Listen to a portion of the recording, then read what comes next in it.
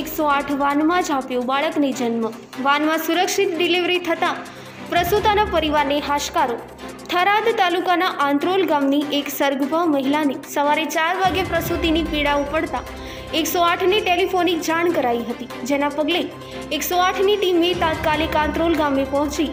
મહિલાને સારવાર અર્થે ખસેડવાની તજવીજ હાથ ધરી હતી. જો કે એકસો આઠ વાનમાં પ્રસૂતાને દુખાવો વધી જતા એકસો આઠના ઈએમઆઈ પ્રવીણભાઈ નાઈએ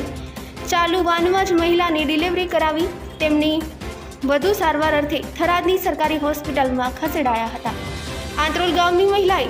સલામત રીતે સ્વસ્થ બાળકને જન્મ આપતા મહિલાના પરિવારજનોએ એકસો આઠ ટીમ પ્રત્યે આભારની લાગણી વ્યક્ત કરી હતી વાવથી કલ્પેશ ઠાકોરનો રિપોર્ટ